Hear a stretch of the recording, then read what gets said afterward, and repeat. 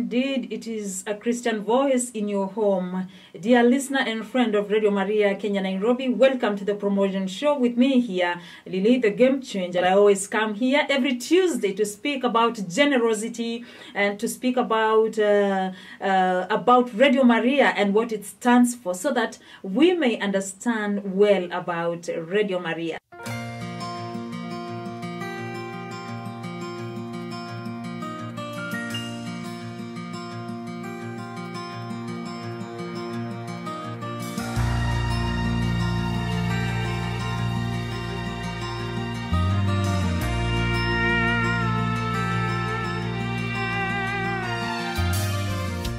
Do you believe in divine providence for your life? And just to start with, Radio Maria, from birth of this radio, its aim has been to help the church in the work of evangelization.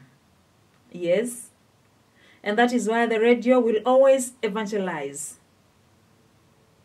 And to do so in its own way, that is with closeness and concern to those people who need help, who need hope, who need to learn how to pray, who need to get close to Jesus Christ, who need to be converted.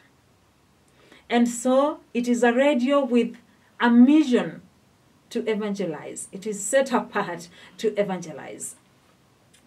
And so one would ask, how then does the radio uh, proceed or operate without what we call advertisements, advertisements?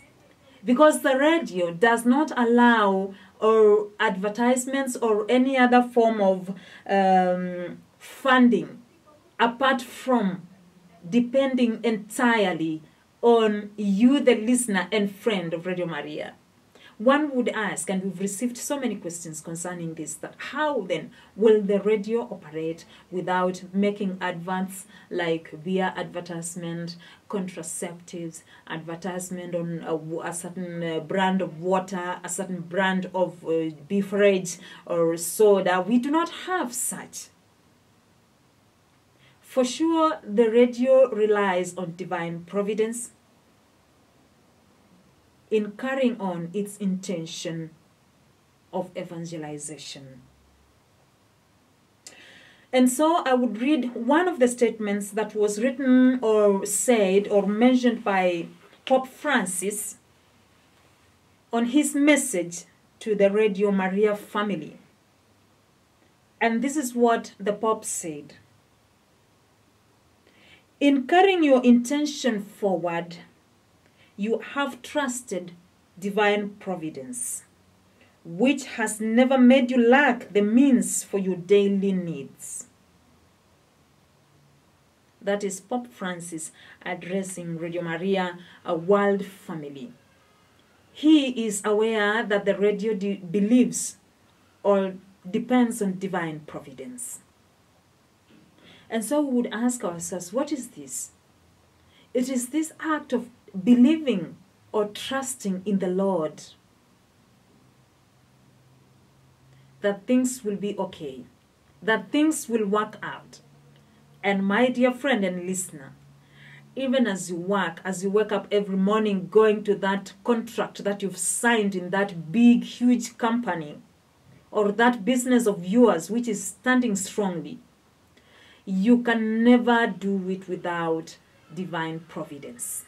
When you close your business in the evening and go back home, who takes care of it? Yes? When you're working and you retire in the evening and go back home, who knows whether the following day you will get to your office and the doors will be opened for you? That you will click on the that button and the door will be opened for you to enter. Who knows that when you leave the company, it will not set on fire and the following day you'll be there wondering how many people have closed their businesses in the evening so well and the following day they get there and the only news they get is that the business or the building is on fire? Divine providence. That even in that work of yours or business of yours or family of yours, were it not for divine providence that we trust in, we cannot stand. And so, divine providence does not mean that we just sit, relax, enjoy, and wait for things to work themselves out in a certain miraculous way. Yes, there are miracles from God, but in this divine providence, we have to wake up and do something. We have to wake up and work. But we trust that in whatever work we do, the Lord is going to bless this good work. In fact, the book of Luke, chapter 12, verse 31 says, Seek God's kingdom, and these other things will be given you besides. I mean, work well done is blessed by God. And so Radio Maria has always trusted and believed in divine providence.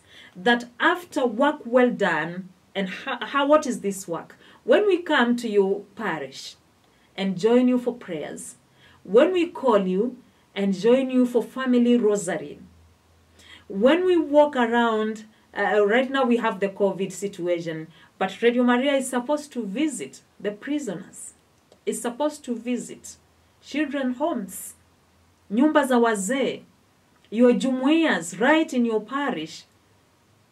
Of course, there's this limitation now, but that is what Radio Maria is all about. And we have been moving around in all parish, in most of the parishes. Whenever they are celebrating their family days, we pray with you. We stream live masses.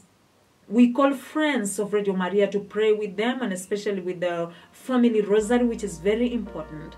That is work well done. And so we believe that after this work is well done, then you, friend and listener of Radio Maria Kenya Nairobi, will not hesitate to support the radio.